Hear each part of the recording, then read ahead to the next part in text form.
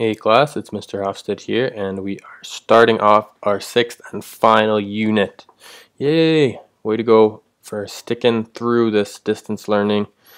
I'm really proud of you guys who've made it all the way here. The end is so near. You can do it. This is my personal favorite unit of all of Physics 20. It's a good one. I hope you enjoy it too.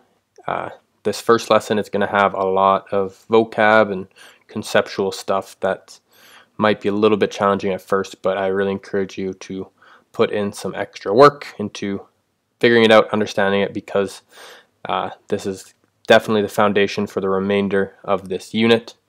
Uh, bigger unit again, nine lessons, just like Unit 5.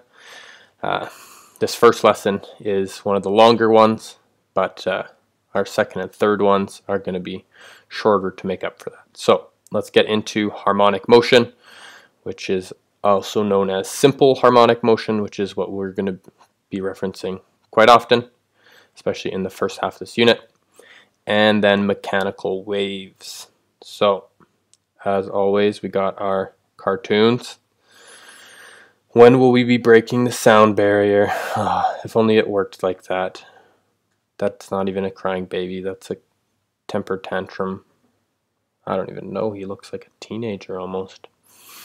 Why is he crying? Who knows?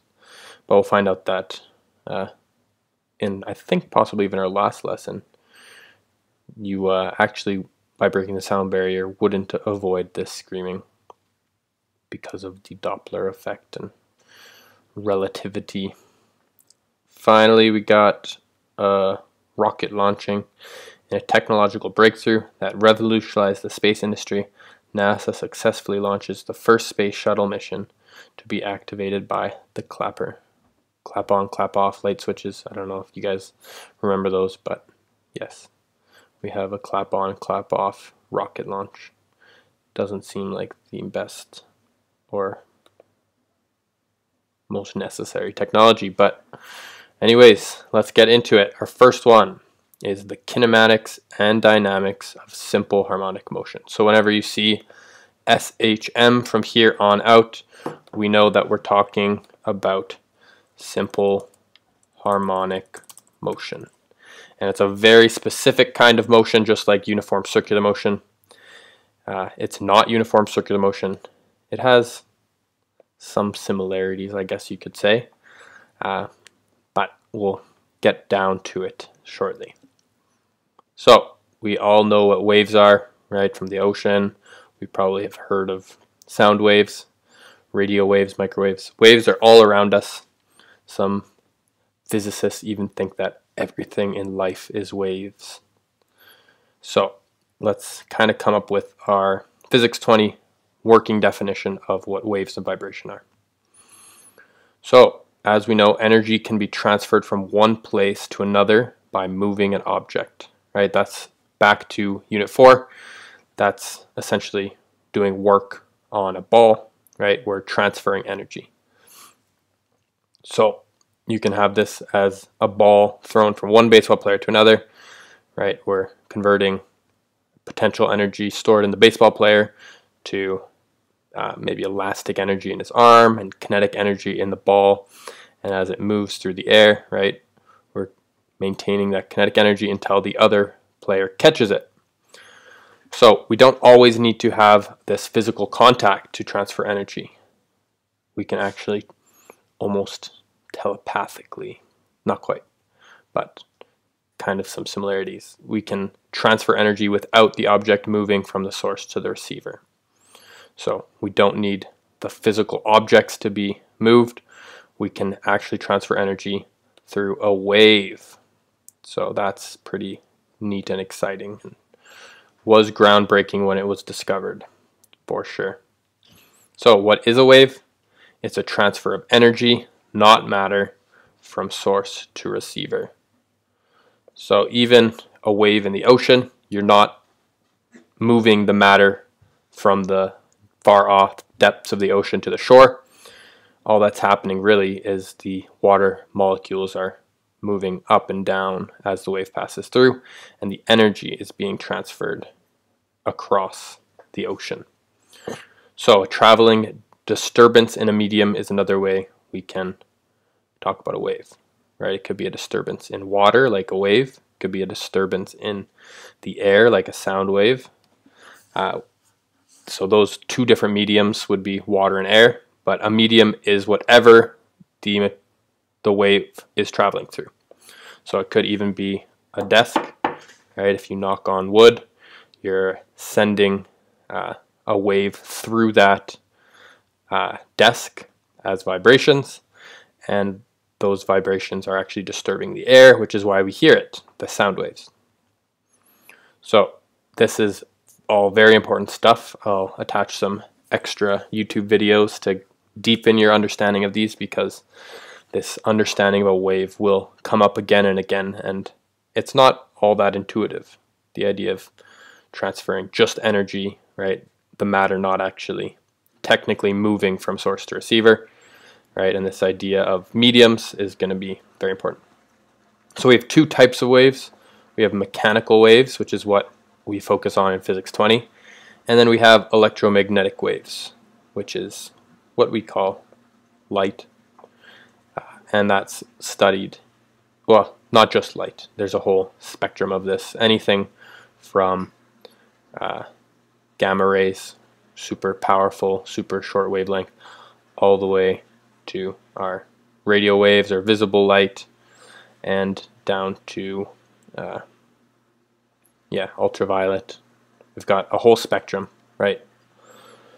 Light, ultraviolet, X-rays. But that's going to come up in Physics 30. If you are planning on taking Physics 30, it's a big, huge portion of that entire course, and it's very interesting. You'll be uh, pretty boggled when it comes to electromagnetic waves, and it's very fun in my mind. Hopefully, you as you as well. So this is what we are focusing on now in Physics 20, mechanical waves. You won't hear talk about electromagnetic waves for a while. Mechanical waves are any waves that travel through matter.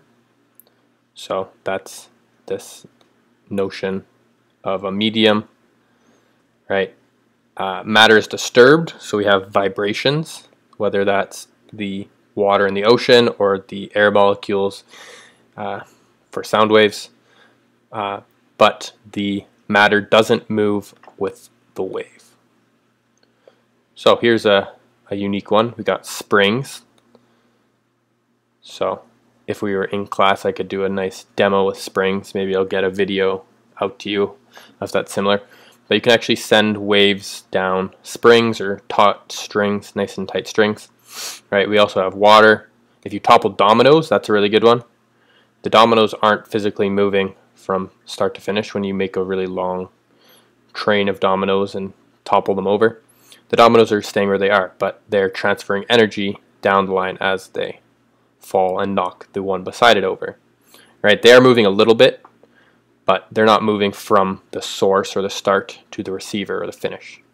Just like sound waves, the air particles are staying uh, in relatively the same spot. They're just vibrating back and forth.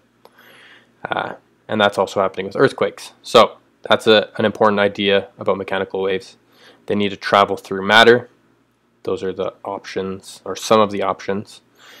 And in it, the matter is disturbed but doesn't move along with the wave. Right? And our cool exception for EMR, this is electromagnetic radiation uh, that we're going to focus on in Physics 30, is that these type of waves don't need a medium. They can travel through a vacuum. So that's kind of the only piece that you're going to uh, need to have in mind for Physics 20. That mechanical waves, which we're focusing on, need a medium. Electromagnetic don't. They can travel through a vacuum. All right. So this idea of matter being vibrated or disturbed is very important. We'll kind of look into uh, this idea, this vocabulary here.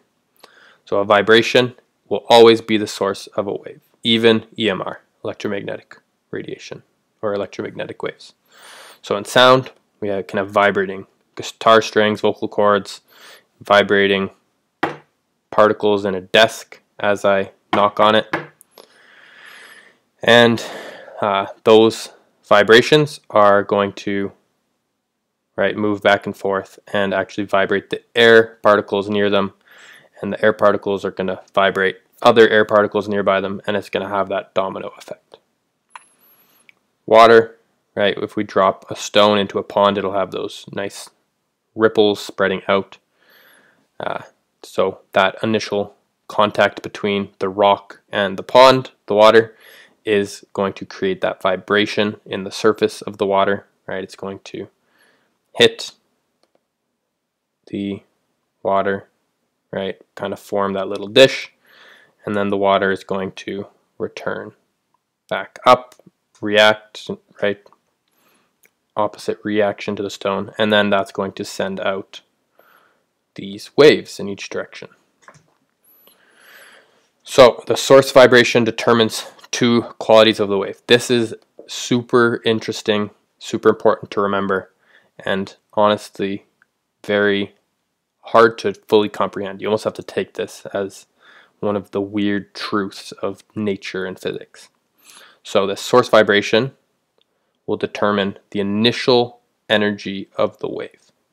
So, we'll find out shortly that uh, energy is related to a specific part of the wave and that's going to always be determined by that first vibration. That's why if you pluck a guitar string really hard, you're going to have a loud sound with lots of energy. If you pluck it really quietly, that initial vibration is a lot smaller. You're going to be transferring a lot less energy through the air. So that initial energy is determined by the source vibration.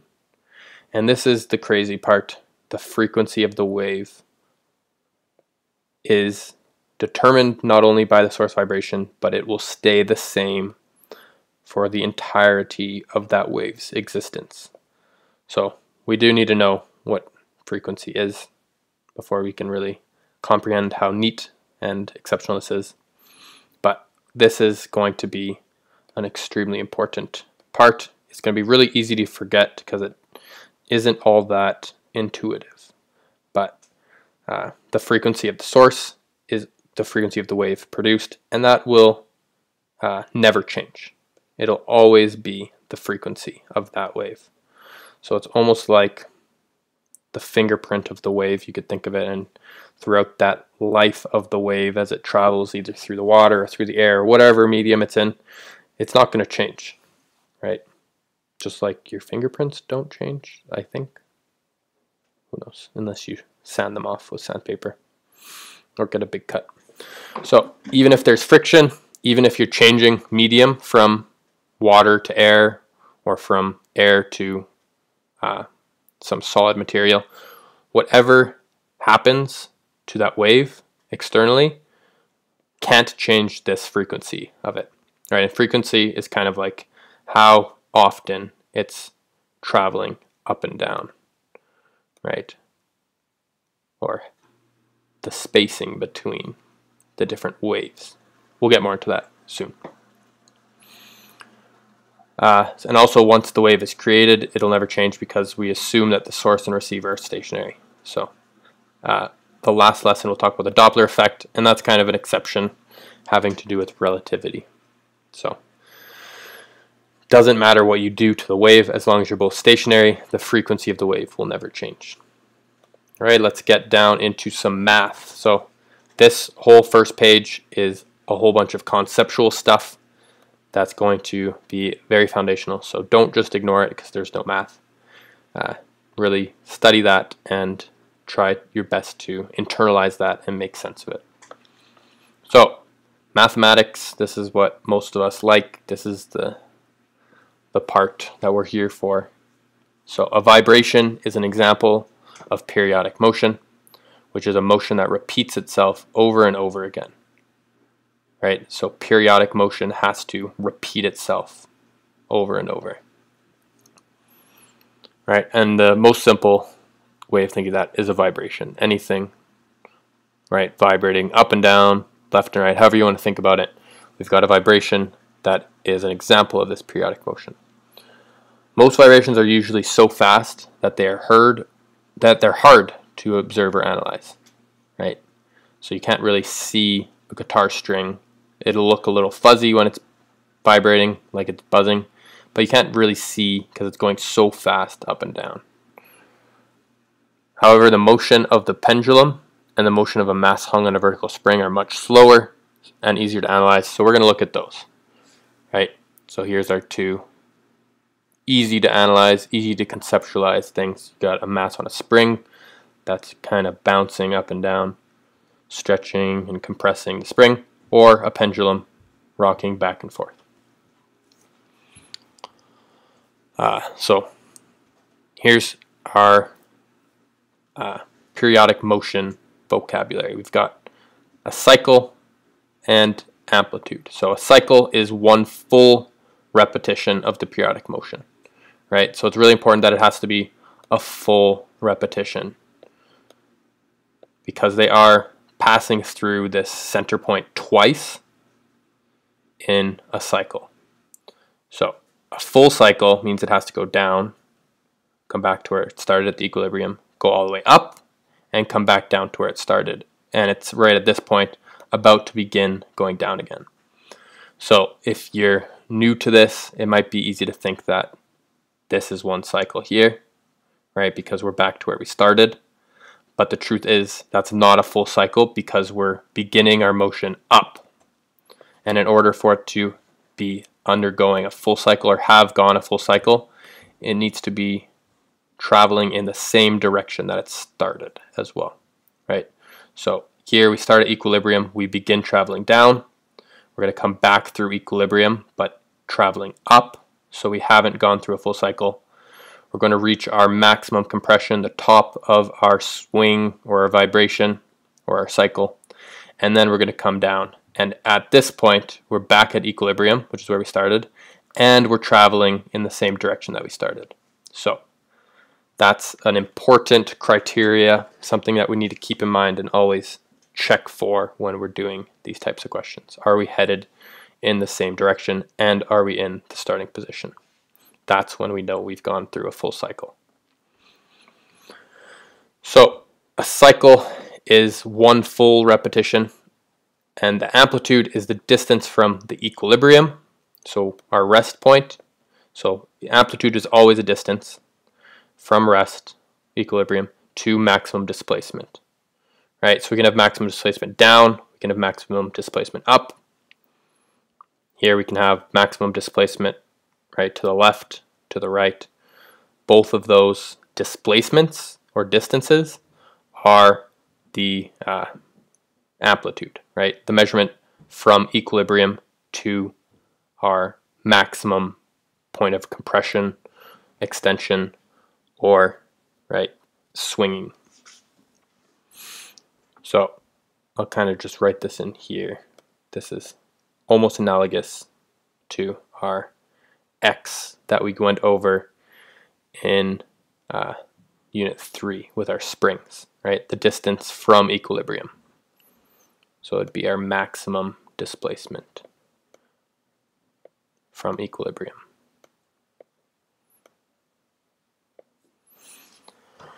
And it also, importantly, represents the energy of the vibration.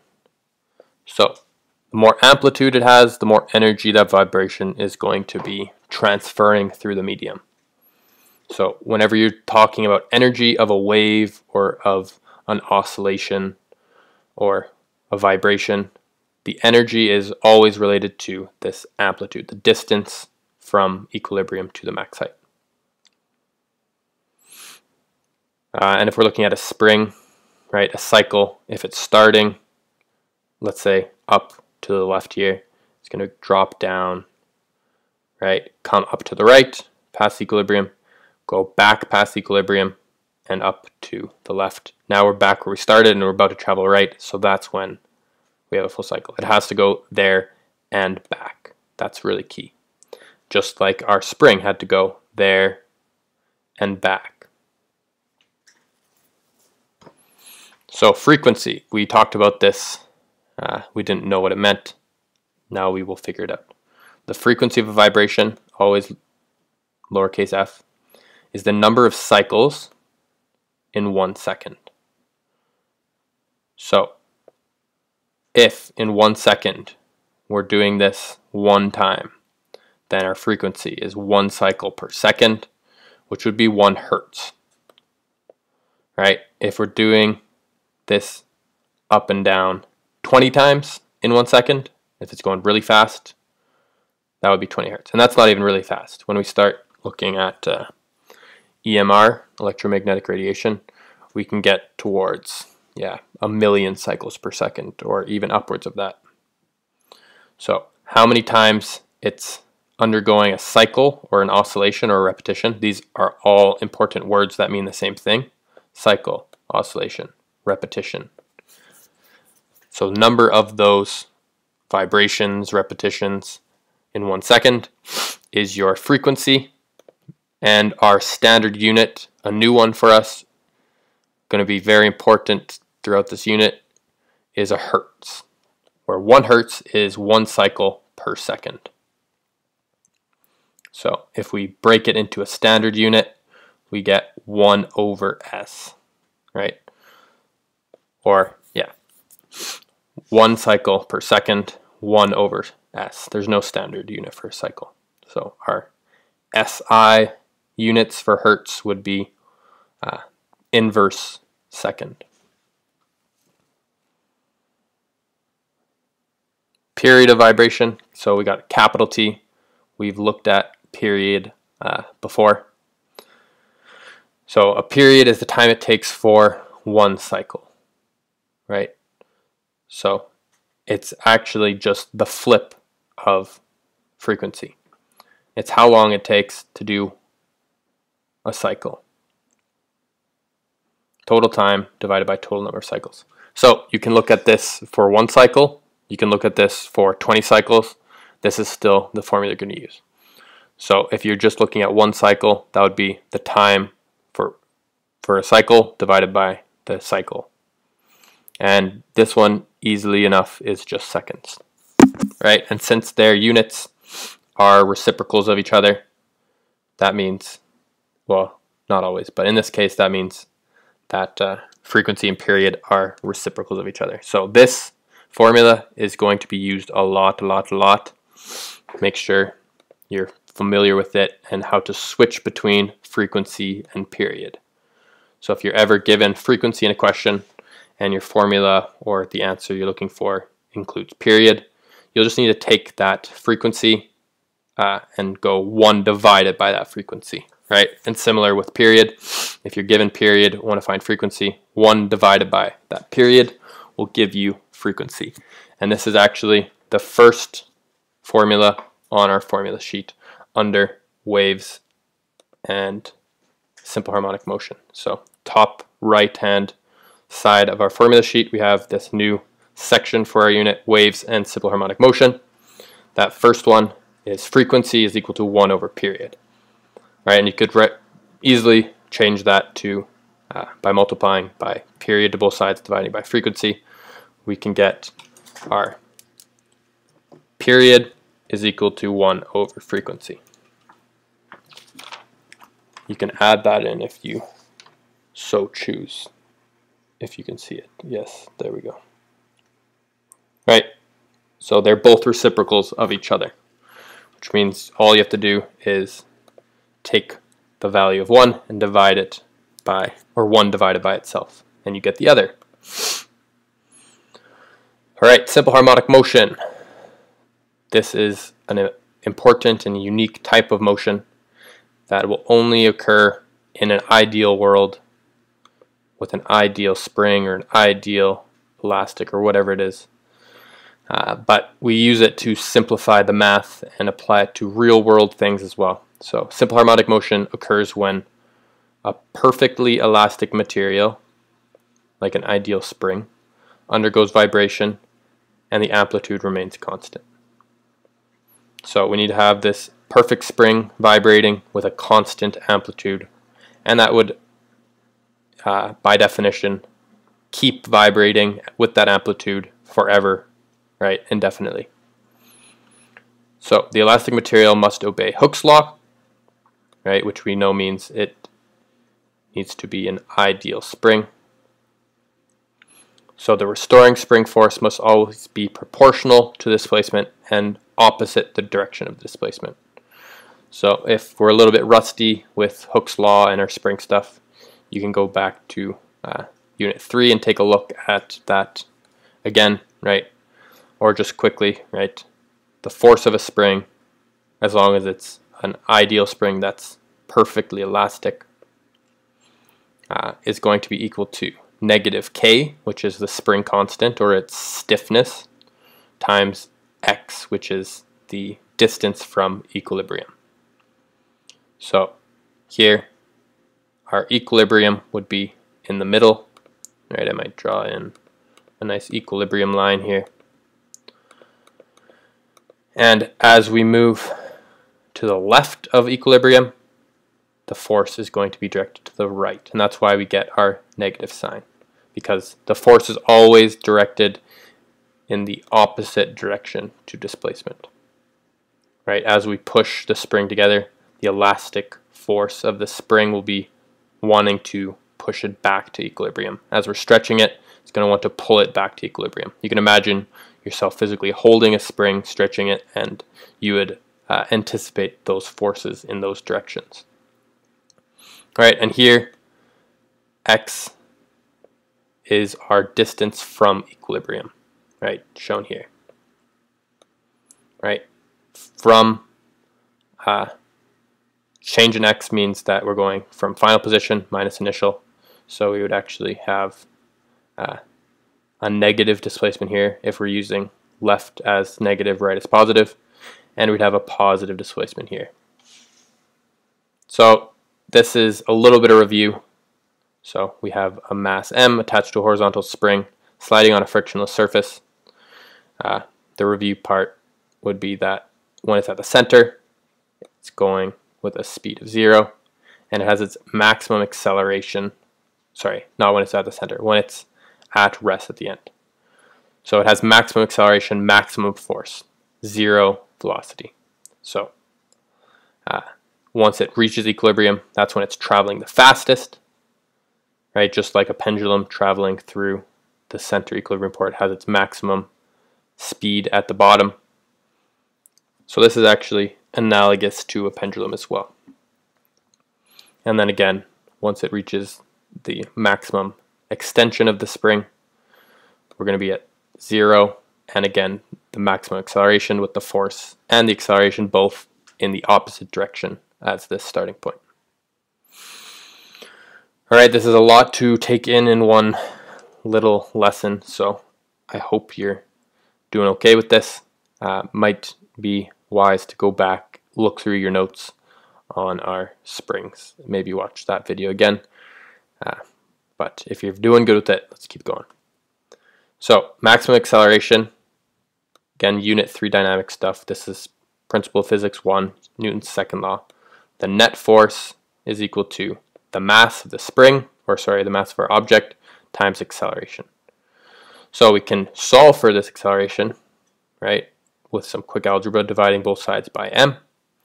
And our only force acting on it is the force of the spring, assuming we're on a frictionless surface.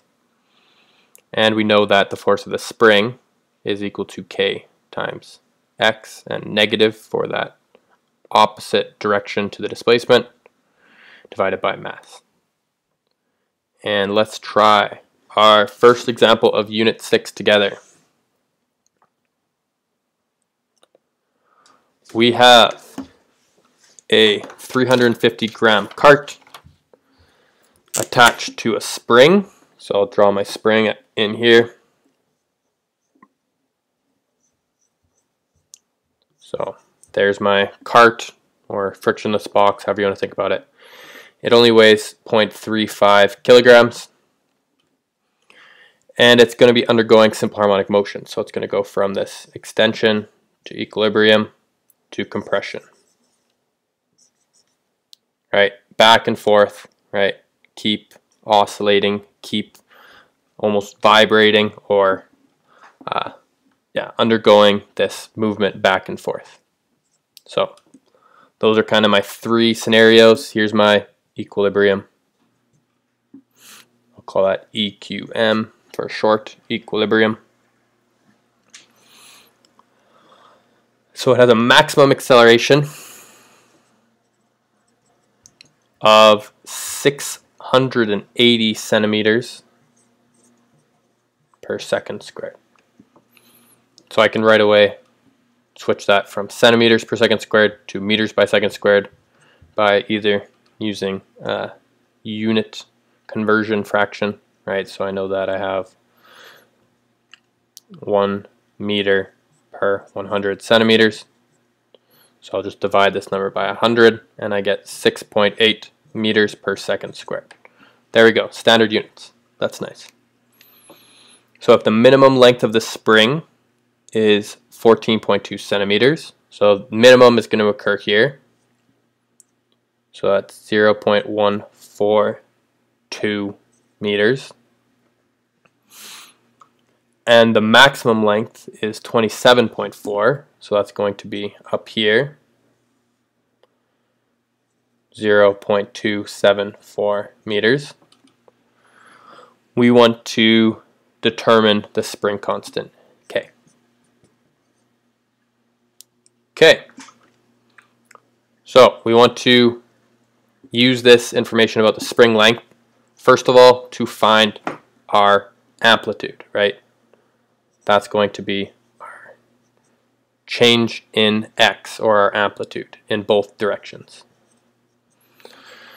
So first step, we're going to find amplitude. And this is just going to require some easy math and reading of our diagram. So if our maximum is 27.4 and our minimum is 1.4, right? And we look at how that's affecting the amplitude, right? To go from this maximum point to equilibrium, is going to be our amplitude 1, right? That's our first amplitude. Then we need to go from equilibrium to the maximum compression. So we have a second amplitude or second delta x, right? Change in displacement from equilibrium. So if we go, we could start here, let's say. Our length is 0.142 meters. We're going to travel our delta x. We're going to travel delta x again. So we have 2 delta x, and we're ending up at 0.274. So mathematically, that's going to look like this. We've got 0.142 meters, we're starting here, plus 2 of our amplitudes, leaves us at 0.274 meters. All right, we want to know the amplitude. We're going to do some rearranging for that. We're going to subtract 0.14 from both sides. And we're going to divide by 2. So we're going to get 0 0.274 minus 0 0.142 divided by 2, giving us uh, 0 0.066 meters. That's our amplitude. That's not what the question wants. We want to find K. So if we remember, our acceleration is our spring force divided by our mass. This is our equation that we created. We get negative kx over m is equal to acceleration. And we're trying to solve for k. So do a little bit of rearranging with this. We're going to multiply both sides by m. Kind of ignore that. and we're going to divide both sides by negative x. So I'm getting rid of my negative sign, left with positive k. So I have k by itself is equal to negative acceleration mass divided by x, or my amplitude.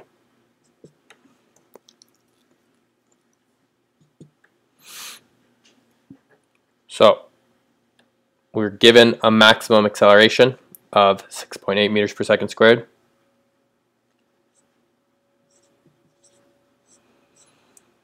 We're given a mass of 0.35 kilograms. And a change in amplitude or a change in displacement of 0.066 meters. Where did our negative go?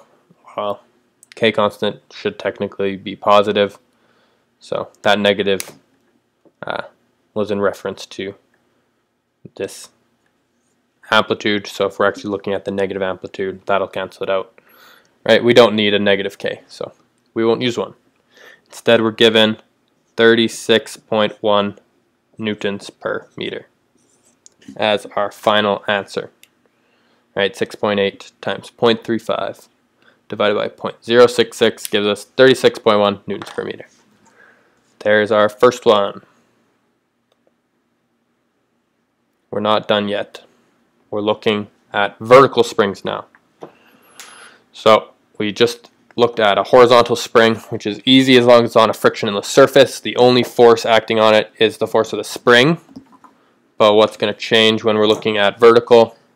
We now have gravity to think about.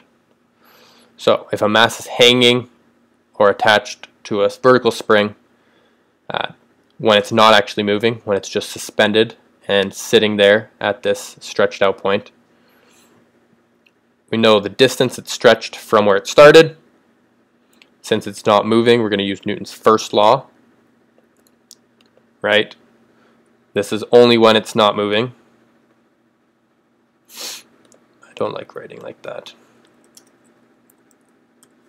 So anything that's not moving, we're going to use Newton's first law for.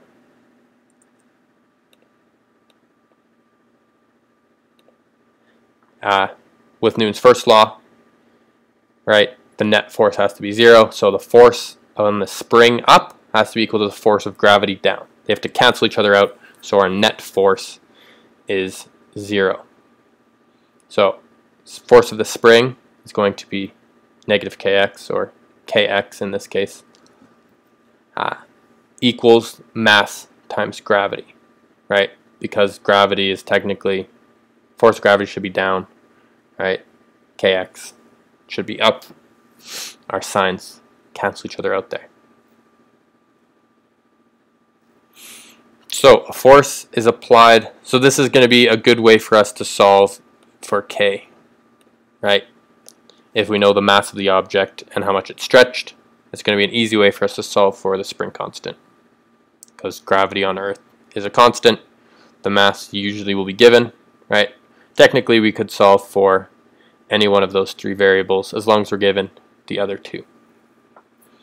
So let's keep going. A force is then applied to cause the system to undergo simple harmonic motion. So it's starting at this equilibrium point, right? That's right here. We're going to pull it down. We're going to stretch it even further. So we're maintaining the same force of gravity throughout this.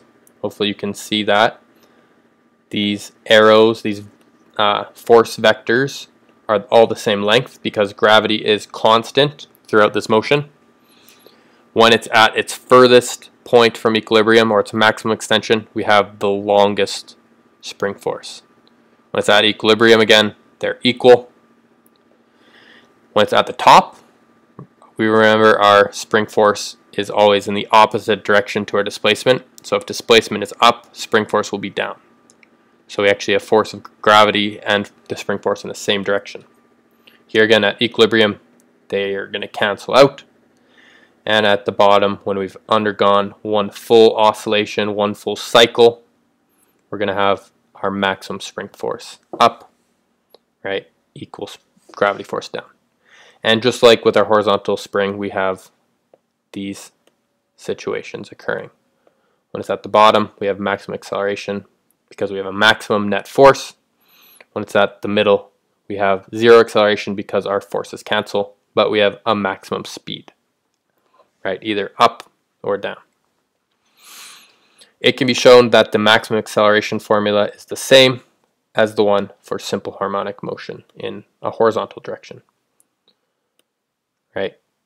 If we uh, used our net force, right? Our gravities would actually cancel out because we have a force of gravity on each of them. I'm not going to show it here. That will take up too much of your valuable time. just uh, if you're curious, you can try to do the same steps that we did for horizontal uh, for the vertical, and you'll end up with this same formula. So these uh, examples are going to be a little bit more complicated because we're throwing gravity into it. Uh, but here's our final example for lesson one. We have a vertical spring. They're giving us a rest length. So I'll draw it out. At rest, the spring is going to be 30 centimeters, 0.3 meters.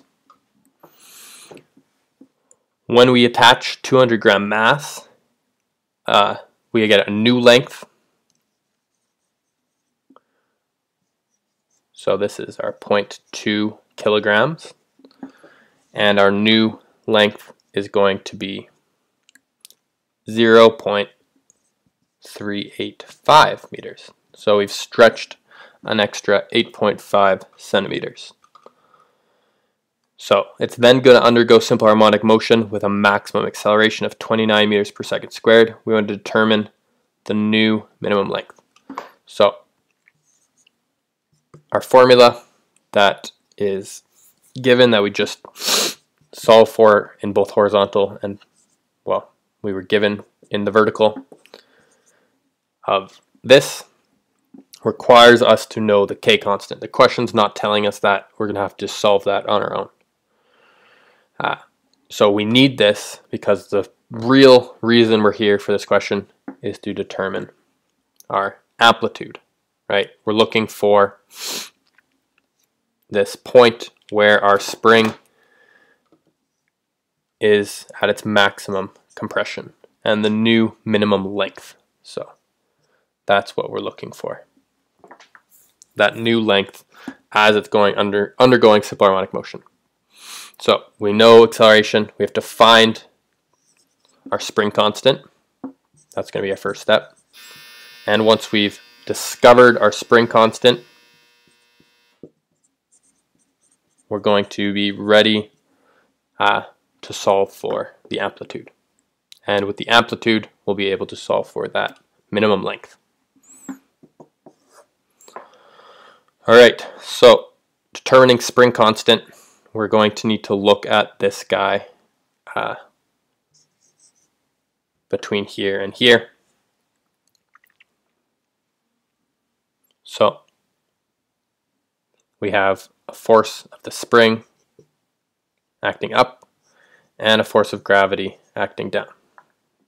Right, this is a snapshot, a free body diagram of it when it's at rest, right, with the mass suspended on it. So here we've stretched a distance of x. So what is our x value? It's going to be our final minus initial. 0.385 meters minus 0.3 meters, giving us 0.085 meters, or 8.5 centimeters of stretch from equilibrium or rest length to its new displacement. So we're going to use our principle of physics 0. Net force is 0 because it's not moving yet. It's not undergoing simple harmonic motion. We've just stretched it out, let it sit there, so it's not bouncing up and down at all. No acceleration, no force. So if F net is 0, we know that our spring force in the upwards direction minus force of gravity is zero. So we can rearrange that. Spring force is equal to force of gravity. Kx is equal to mass times gravity. We're going to solve for k. So our spring constant is equal to mass times gravity divided by our displacement from equilibrium. You're going to be using this a lot over the next little bit. So hopefully you can get familiar with it and our way of uh, working with Newton's first law and our uh, net force equaling zero, right? force of spring, force of gravity, solving for spring constant. So mass was 0.2 kilograms. Gravity is always 9.81 on Earth. And x is 0.085 meters. That's how far it's stretched from before the mass was attached to when the mass is attached and it's uh, again stretched out but at rest. So our K is equal to 23.08 newtons per meter. Right, our reference for this. Up was positive, down was negative. We have K. Now we're going to solve for our amplitude. That's going to be our next step. Determine amplitude. So we have our formula. We're going to rearrange it to solve for our amplitude or change in displacement.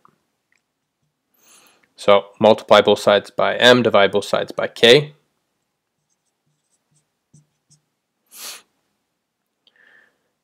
And we get uh, 0.2 times acceleration, uh, which the question gives us, yes, as 29 meters per second squared. I didn't write that down, but it was given in the question. 29 meters per second squared divided by our k constant that we just solved for, 23.08 newtons per meter. Right, and if we want to double check, we're not so sure about our formula, we can actually do some unit cancellation, right? So a Newton uh, is a measurement of force, which is mass times acceleration. So this would be kilograms, this would be meters per second squared. So mass acceleration, mass acceleration, they're going to cancel out and we're left with 1 over meters on our denominator. So we're actually ending up with displacement in meters, which is perfect. That's what we want. And that displacement is 0.251 meters. So our amplitude, right, once we're, this is actually when we're accelerating up and down. So from here, we're going to be bouncing down these 25 centimeters.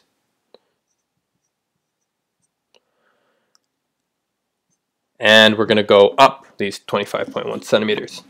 So this is going to require a bit of drawing and figuring out to determine our minimum length.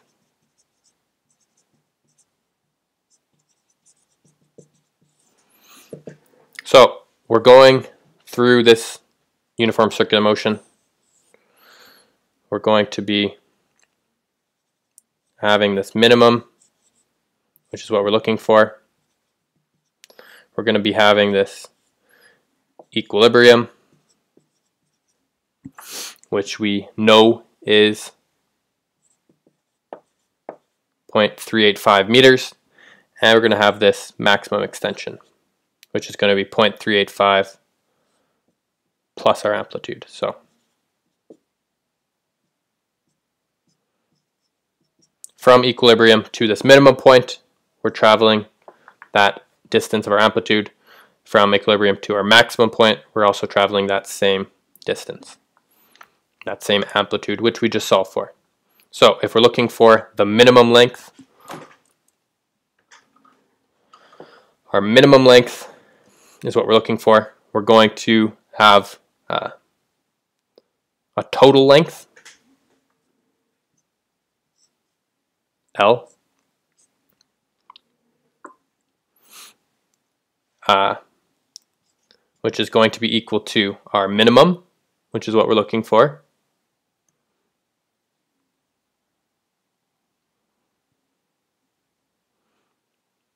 Yeah, is that going to be the easiest way to do it? Sure.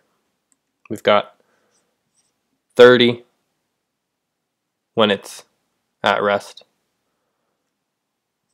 Right, so before even this we have 30 at rest. I don't really like this way of doing it. I'm going to do it a different way. This is the way they did it on the solutions manual. But instead, I'm going to start with this 38.5, 0 0.385 minus our amplitude is equal to our minimum length, which is what we're looking for. So 0.385 minus 0.251 gives us our minimum. So our minimum length is equal to 0 0.0636. Let me double check that.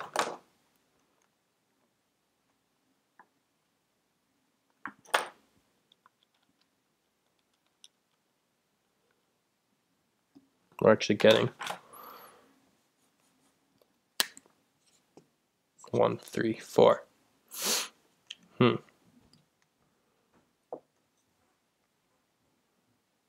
All right, this is how the solution manual is solving it. We have our length.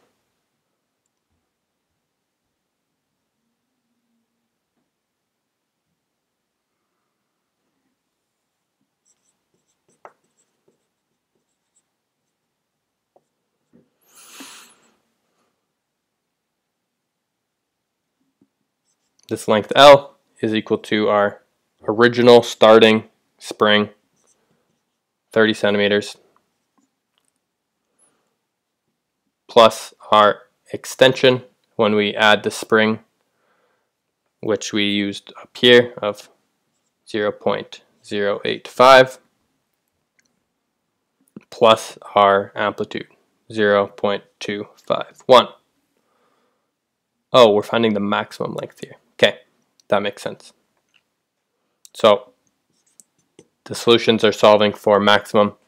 If you want to solve minimum, right, we're going to use the extended length minus the amplitude, which was 0.134. But the maximum length, just in case you wanted to know, is going to be 0.636 meters. A little bit of confusion, sorry about that. The uh, solution manual was solving for uh, what I assume was an old question but the minimum length is how I solved before. Maximum is adding all of them together. All right, good luck with the homework. I will get you a second and much shorter video